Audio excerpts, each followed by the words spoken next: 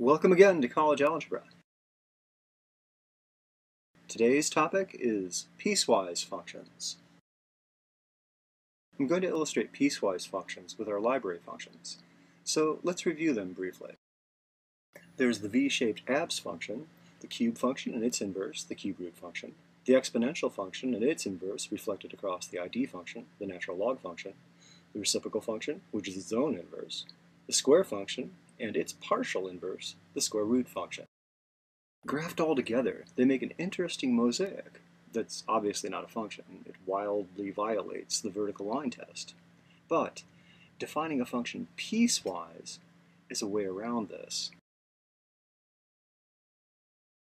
Think of a piecewise function as two or more functions stitched together across a domain. In this example, we're going to use the cube root and absolute value functions. For simplicity, we'll divide the domain into left and right halves at the origin. To form this piecewise function, restrict the cube root function to the left-hand plane, and the absolute value function to the right half plane. Together, these two restricted functions make up one function, defined in pieces, or a piecewise function. The notation requires some disassembly. The piecewise function definition includes expressions describing the separate functions that are stitched together, along with a description of the pieces of the domain.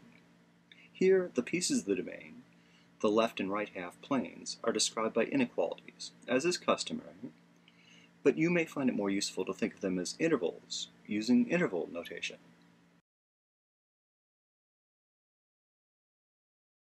When graphing a piecewise function, remember to read the equation right to left. This example is of a three-piece function. Note in passing we'll be graphing the cube root function, the absolute value function, and the reciprocal function.